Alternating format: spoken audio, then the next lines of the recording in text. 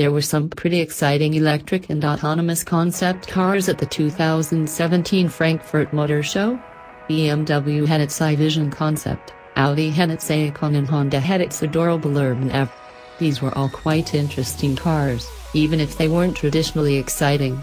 However, there was one car company that disappointed a bit, at least for me, personally, and that was Mercedes-Benz. BMW's biggest rival brought was as likely the most boring electric concept car to Frankfurt in the Mercedes-Benz EQA concept. It's essentially an electric hatchback with a screen for a grille. The latter bit is its biggest party trick and it's a gimmick.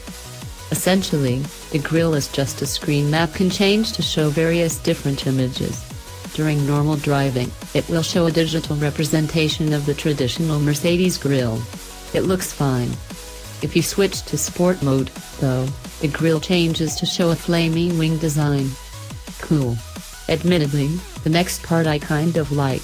As if you switch to Sport Plus mode, the grille changes to the brand's Panamericana grille with red vertical slats. A bit gimmicky, but I actually kind of like that last bit. The rest of the car, though, is just an electric hatchback.